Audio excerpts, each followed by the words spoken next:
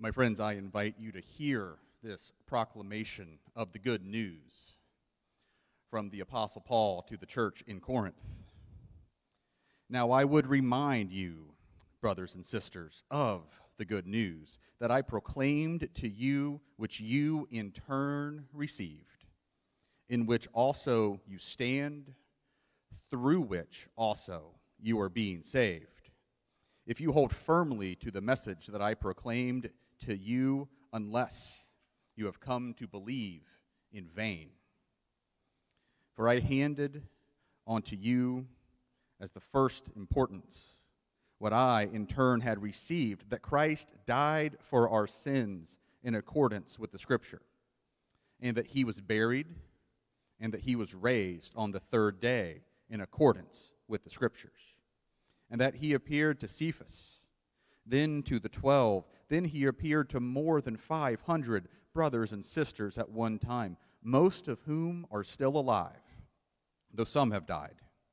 Then he appeared to James, then to all the apostles. Last of all, as to one untimely born, he appeared also to me. For I am the least of the apostles, unfit to be called an apostle, apostle because I persecuted the church of God. But by the grace of God, I am what I am. And his grace toward me has not been in vain. On the contrary, I worked harder than any of them, though it was not I, but the grace of God that is with me. Whether then it was I or they, so we proclaim, and so you have come to believe. If Christ is proclaimed as raised from the dead, how can some say there is no resurrection of the dead? If there is no resurrection of the dead, then Christ has not been raised. And if Christ has not been raised, then our proclamation has been in vain, and your faith has been in vain. There's one more thing before we get going this morning, friends. There's something that we need to do before we break forth in song. There's something we need to do before we move on in celebrating this day. Miss Kelly. Instruments, instruments. You left yours in the other room? Friends, about 50 days ago, we, um, we buried something. Do you remember what we buried? Do you know what's in the pot? Do you remember? Adults? Nobody knows what's it's it's not pumpkin seeds. What? It is the Hallelujah! It's a day. today we get it out. Here it comes. Maybe it's not coming out. Friends, it is Easter, and we have been waiting. We um, put this away as we reflected during Lent, and today it is back out. You found some in your seats, so um, will you raise an Alleluia with me? Woo! Hallelujah! It is Easter.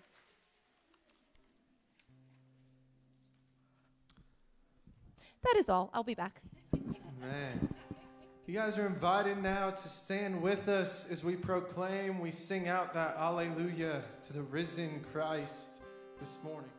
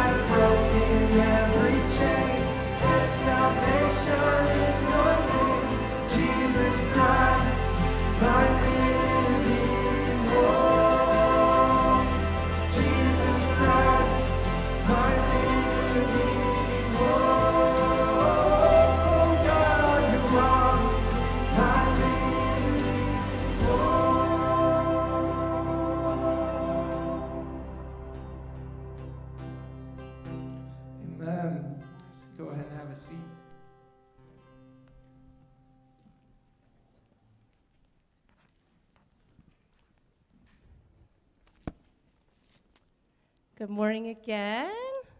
So glad to see all these faces today. Um, at Christmas time, we often share a story with the kids. And this year I found a, book. a book. it's not a book, it's a book. I found a book, and it's called Twas the Morning of Easter. We will have um, some of our pictures up there for you um, as I read along.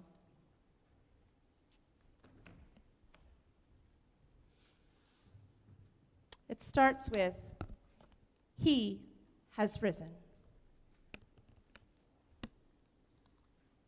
'Twas the morning of Easter. 'Twas the morning of Easter before the sun rose. Two guards on a hillside were just trying to doze. You see, Jesus had died only three days before. A huge stone had been placed to seal the cave door. The disciples were sleeping, but tossed in their beds, as visions of danger twisted and swirled round in their heads. Would they be arrested and led away too? Without Jesus, their leader, what would they do? In her quiet, small home not far away, Jesus' friend Mary was planning the day. She would go to the cave with perfume and spice in hopes her gifts would make Jesus smell nice. The sun through the trees was just starting to peep at the guards on the hill who were now fast asleep, when all of a sudden there came an earthquake and the rocks and the trees all started to shake. The guards jumped in fright, then fell straight to the floor as the stone rolled away and unsealed the door. Then Mary arrived and crept up to the cave. She had to see Jesus, she had to be brave. But the cave was now empty. He just wasn't there. Mary sat down and wept, and her cries filled the air. But suddenly Mary heard someone behind. Dear woman, who is it that you hope to find? Mary jumped and turned round, so confused and afraid. Was this man the gardener? And why had he stayed? But the calm in his voice, the words that he said, soon let Mary know she had nothing to dread. Dear Mary, it's me, it's Jesus, your friend. My story's just starting. This wasn't the end. His eyes, how they twinkled, his smile so bright. Mary knew in a moment, but could she be right? She gasped in surprise and cried, Jesus, it's you. You came back to life. Your promise came true. Jesus nodded and said, But there's no time to lose. You must tell the disciples, Go, spread the good news. So she jumped to her feet, and away Mary went. She'd a story to tell, a tale heaven sent. She ran without stopping and called through the door, Disciples, you've never heard this news before. Now Peter, now James, now Thomas, now John. I went to the cave. Jesus' body was gone. But he called me by name. He's alive. It is true. It's a miracle only our great God could do.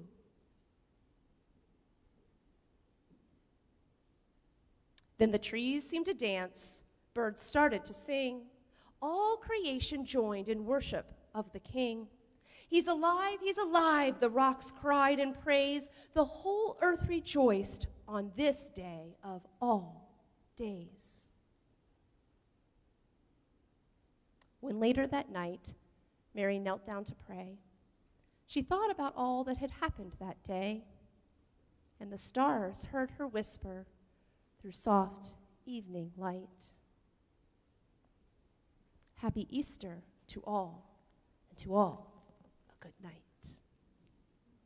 Will you pray with me?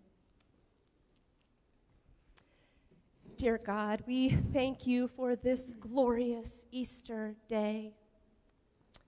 We are so grateful that we can be together and celebrate you.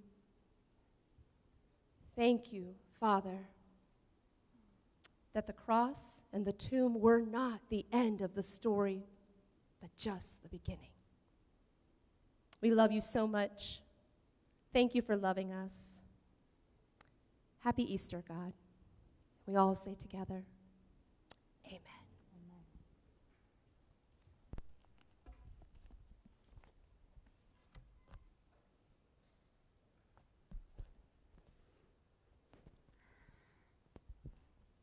Can you hear me now? The battery died earlier, so. All right. Thank you, beloveds, for your grace. He is risen indeed. Our gospel lesson comes to us. This year we will share from Luke. Earlier today in the um, sunrise service, I shared from John's gospel. Um, this service we'll share from Luke's gospel. They all have a little bit of a different flavor. Um, but hear this word given to us in Luke chapter 24, verses 1 through 12. But on that first day of the week at early dawn, they came to the tomb, taking the spices that they had prepared. They found the stone rolled away from the tomb. But when they went in, they did not find the body. While they were perplexed about this, suddenly two men in dazzling clothes stood beside them. The women were terrified and bowed their faces to the ground. But the men said to them, Why do you look for the living among the dead? He's not here, but he has risen. Remember how he told you while he was still in Galilee that the Son of Man must be handed over to sinners and be crucified, and on the third day rise again? Then they remembered his words just like that.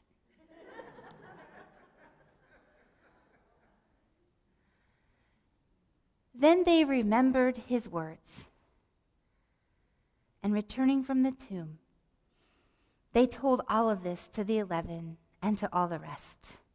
Now it was Mary Magdalene, Joanna, Mary the mother of James, and the other women with them who told this to the apostles. But these words seemed to them an idle tale, and they did not believe them. But Peter got up and ran to the tomb. Stooping and looking in, he saw the linen cloths by themselves, and then he went home, amazed at what had happened. This is the word of God for the people of God. Thanks be to God. Will you pray with me?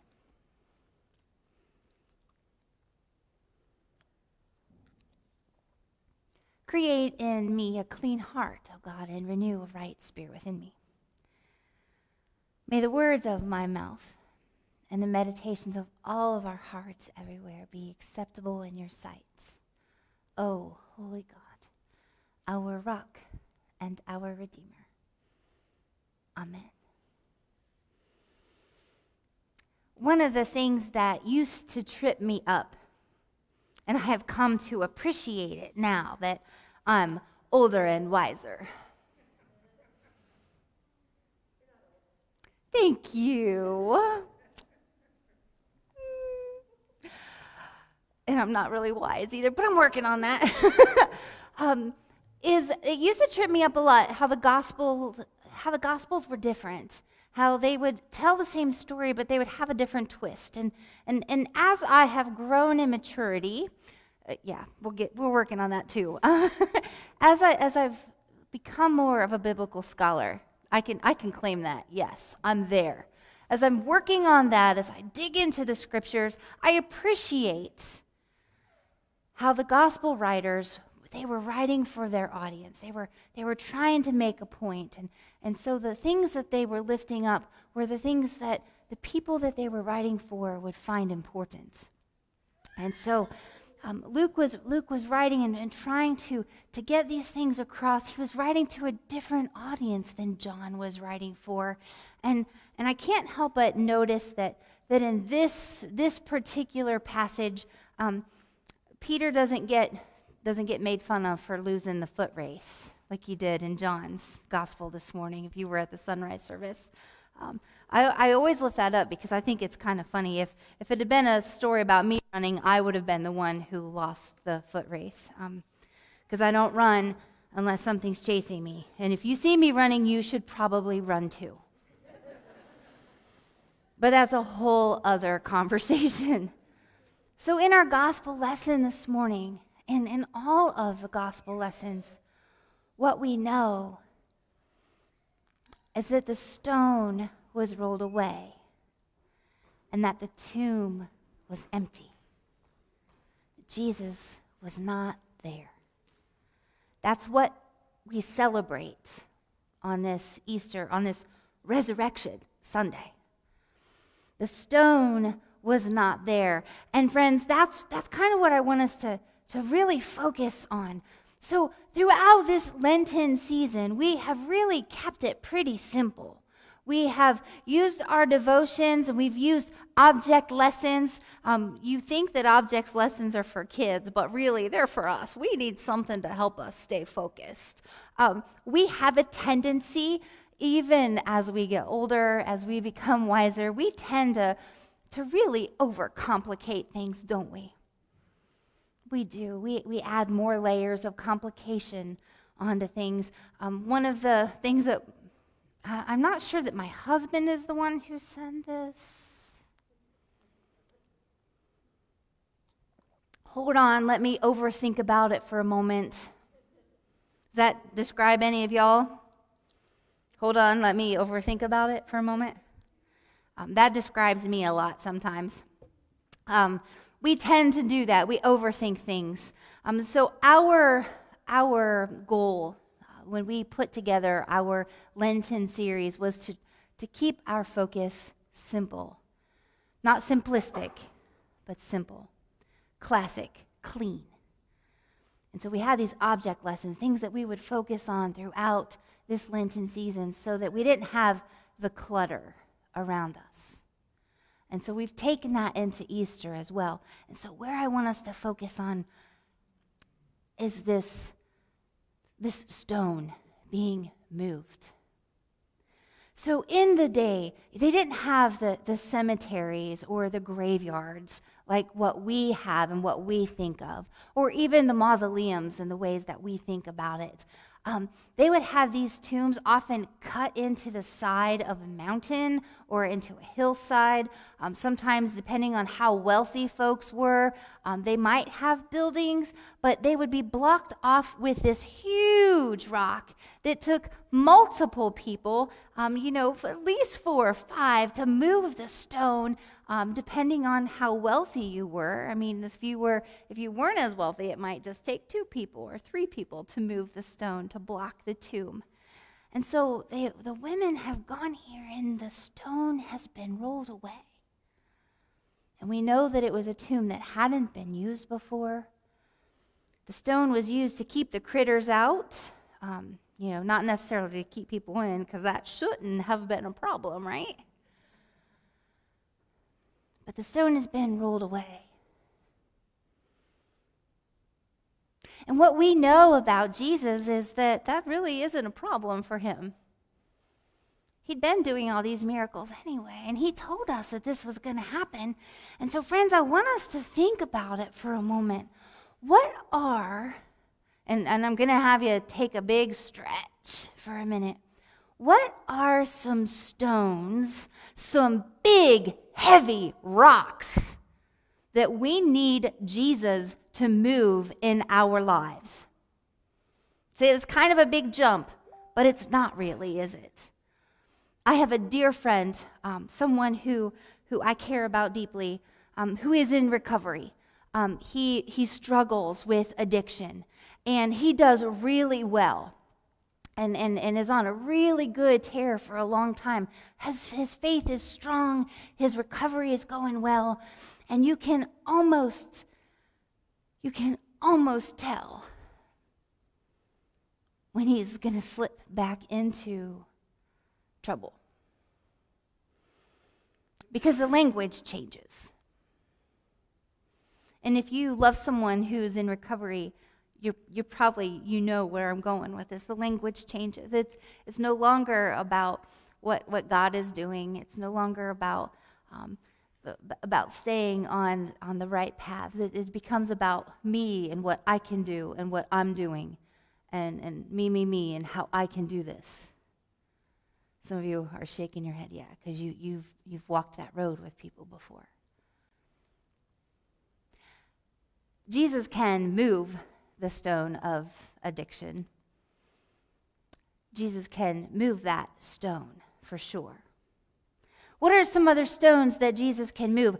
Um, as, as a person of faith, I, I look at these stones, these huge rocks, and I think about how God can use us to move these stones.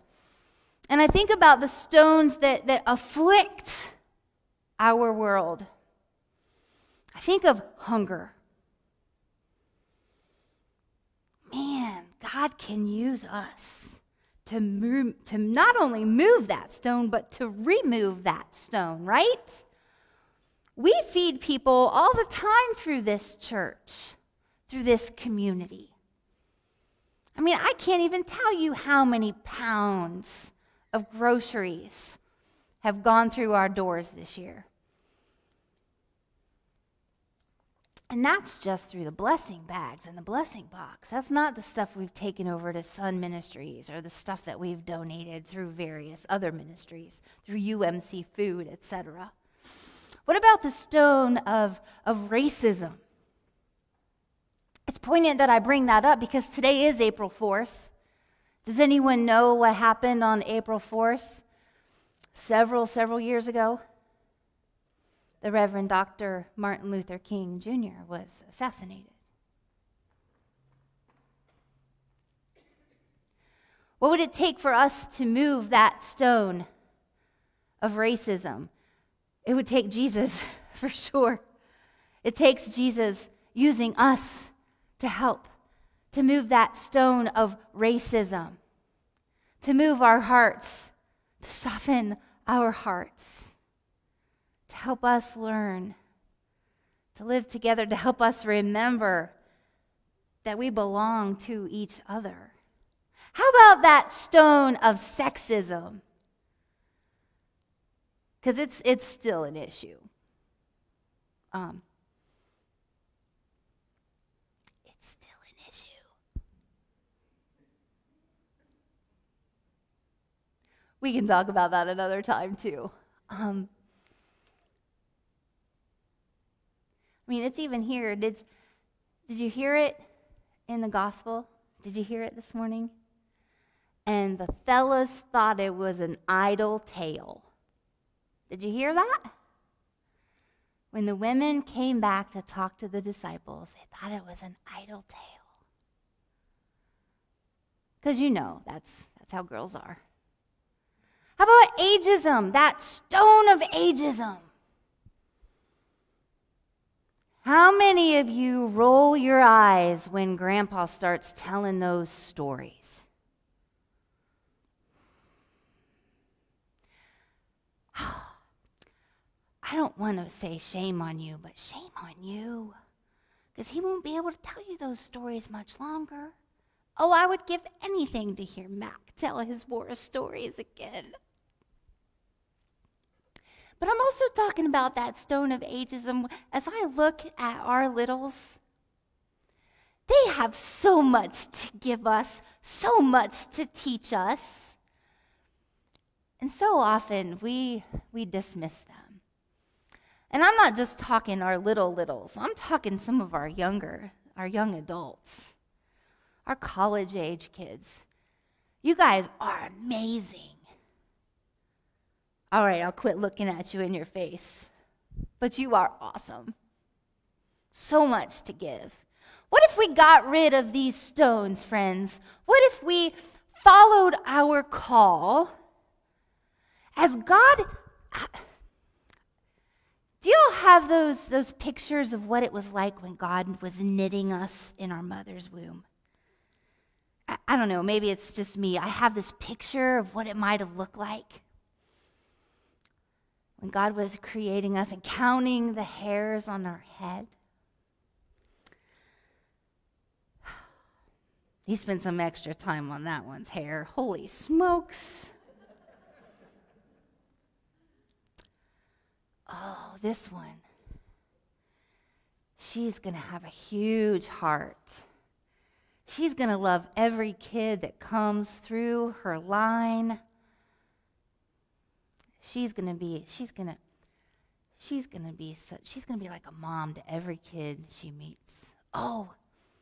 And this one, she is to teach them to love art and love color She's to teach them to express their creativity. Oh, and this one, he, he is to make beautiful music. This one, this one is going to feed so many people. This one, he is going to be such an encourager These ones, these ones are going to roll away stones. These ones are going to roll away stones of hunger, stones of racism, stones of sexism, stones of ageism, stones of ableism, stones of all the isms. These ones, these ones are my disciples. These are the ones, these are the ones who I've created. These are the ones I've called. These are mine. These are the ones that are going to make a difference in the world. They're going to roll away these stones. They're going to abolish these stones. And the world's going to be as I intended. I mean, that's, that's kind of how I picture God looking at you and me right now. How do you picture God looking at us? You know, he he beat death for us. He lives. Our Redeemer lives, loves us so much that he gave us this example of grace and truth and love so that we could move these stones, friends. How awesome is that? It's pretty awesome, Pastor. And so we've been we've been called and this is this is beyond our um, our frailty, beyond our our fickleness. This is bigger. This is this is a God-sized dream. Remember how we were talking about that before Lent? God has a dream that has, He has put in us. It's part of how He made us, part of how God has called us. It's what we've been made for, friends. It's what we've been saved for. It's how God is calling and using us now. And so, as we go about this Easter season, as we go back out into the world, and if you'll recall, we are the gospel that the world reads. As we go back out, take that Easter message that the tomb is empty, that Jesus is alive, that love wins. Take that message out into the world, that good news. Spread it everywhere because that's what's going to break the stones that we roll away. Jesus is moving all kinds of stones and we get to help. Let it be so. Amen. Will you pray with me? Creator God, we give you thanks once again for this day, this time where you have proven your love, proven that you keep your promises, proven that you are who you say you are. We give you our hearts, we give you our thanks. And we say, Hallelujah. We say, Thank you. We say, We love you. Amen. You go ahead and stand again with us as we continue uh, to proclaim that Christ is risen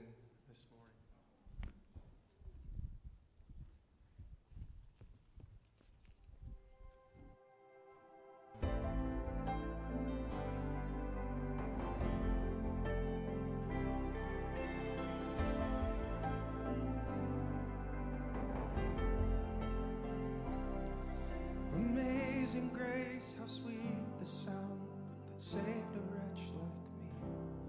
For I once was lost, but now I'm found. Was blind, but now I see. Hallelujah. Christ is risen from the grave. Hallelujah. Christ is risen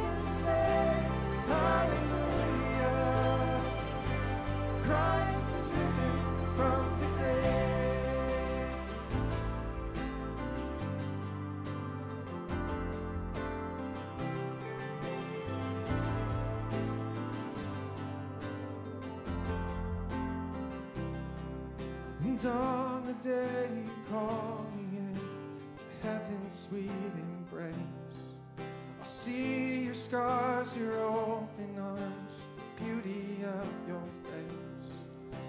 Through tears of joy,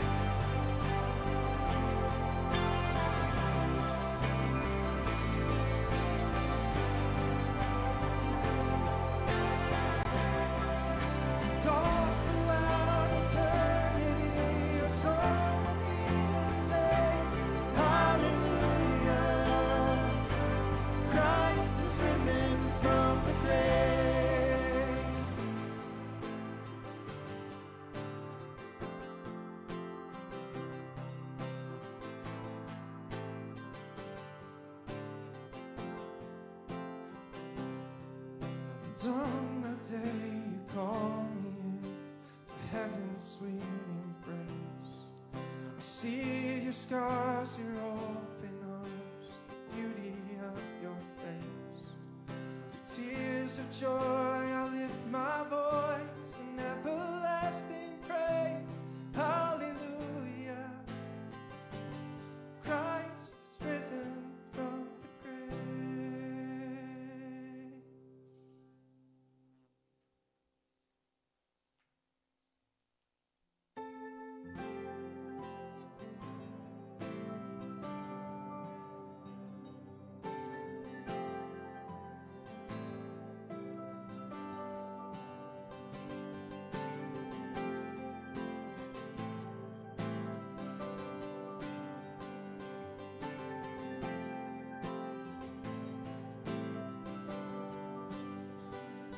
The head that once was crowned with thorns is crowned with glory now.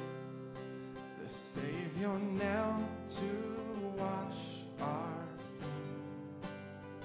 Now at His feet we bow.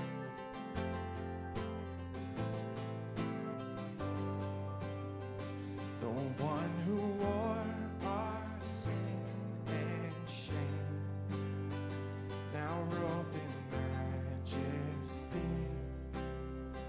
the radiance of perfect love now shines for all to see.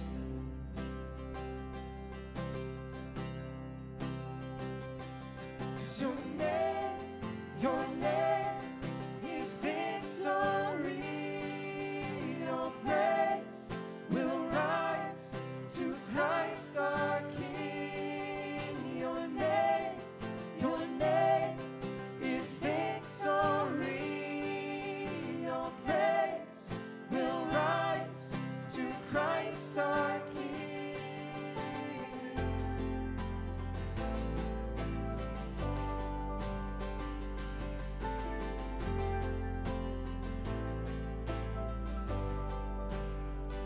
The fear that held us now gives way to Him who is our peace. His final breath upon the cross is now alive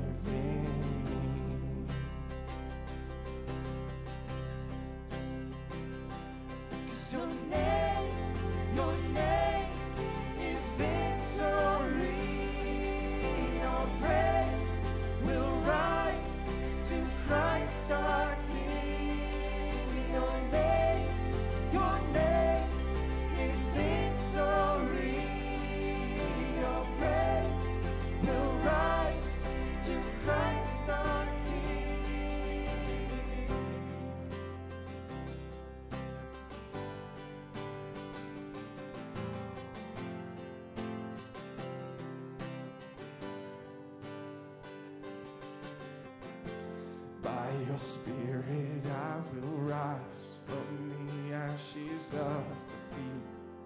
The resurrected King is resurrecting me.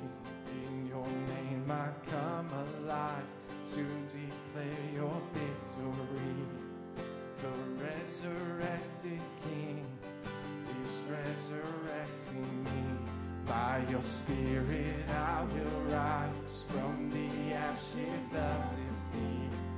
The resurrected King is resurrecting me. In your name I come alive to declare your victory. The resurrected King is resurrecting me.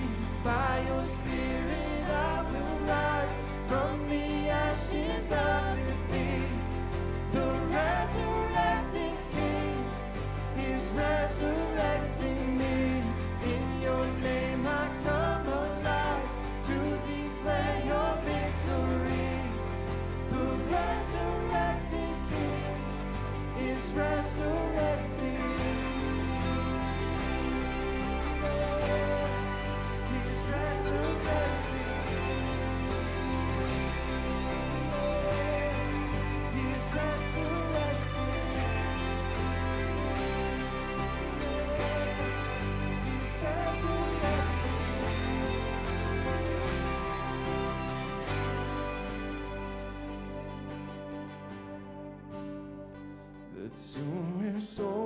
soldiers watched in vain was borrowed for three days.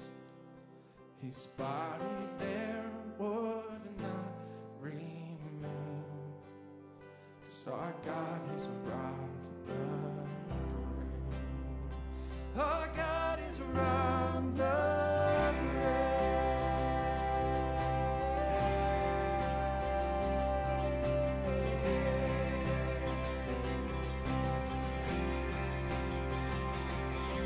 Your name, your name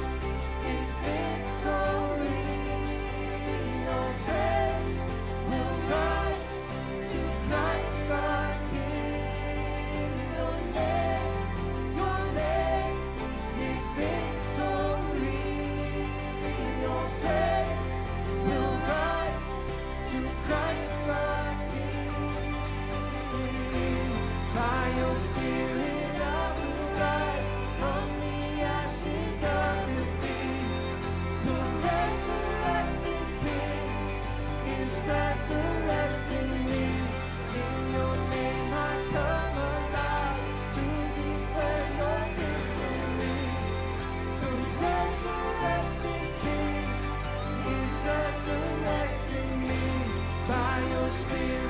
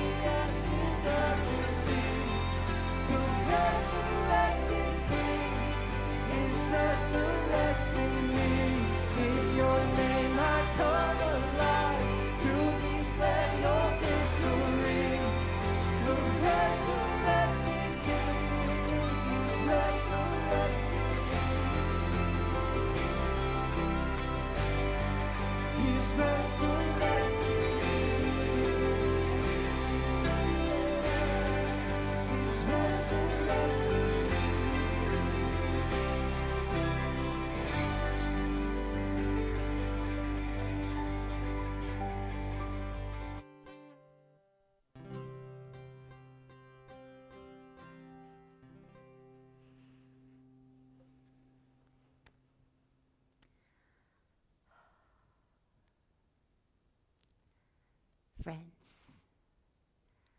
go forth from this place,